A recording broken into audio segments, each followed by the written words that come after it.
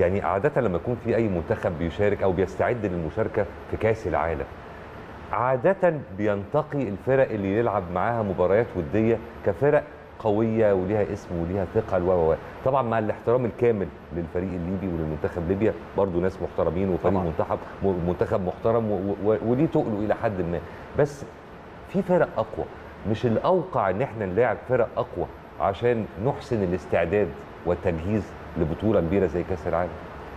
هو هو لعب طبعا مع ليبيريا آه، فريق في يعني مستوى ممكن الرابع في إفريقيا. ولكن هو ممكن أحيانا كأول مرة عايز يشوف المنتخب هو ده كان المنتخب المتاح ليه.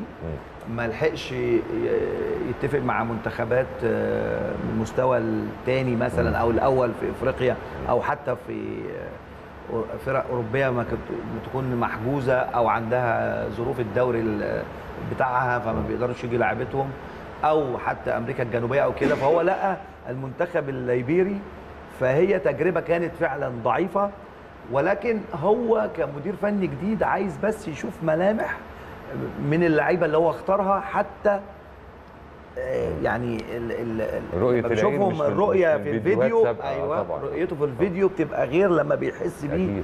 في الملعب قدامه ويخش معاهم كمان سريعا في الكلام والم... وال... والمحاضرات و... فدي دي دي عادية إن هو يبتدي بمنتخب ضعيف زي المنتخب الليبيري ولكن آه، كان ممكن حتى ما يعملش مباراة بس هو عملها عشان هو لسه جاي وعايز يستكشف بعض الحاجات فهو طبعا نتمنى له التوفيق لأنه المنتخب الليبي منتخب صعب.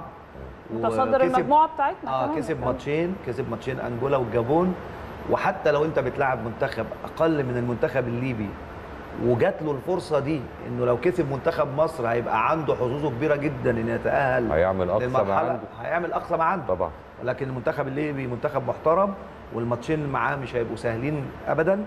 ولذلك إحنا زي ما نواندا قالت إن إحنا نتمنى كل التوفيق للمنتخب المصري وكلنا معاه ولكن هو فعلا التساؤل بتاع شريف وقفشة وثالثهم طبعا مصطفى مح- فتحي وأنا قلت السبب إن أنا مش آه. يعني تمام، مش بقلل تمام. من مصطفى مصطفى لعيب كبير جدا ولكن إن دولت كانوا بيلعبوا الفترات الأخيرة مع المنتخب آه، كان يعني فيها علامة استفهام شوية من وجهة نظرنا إحنا لكن هنشوف والله من وجهة نظر. الشارع المصري والشارع كله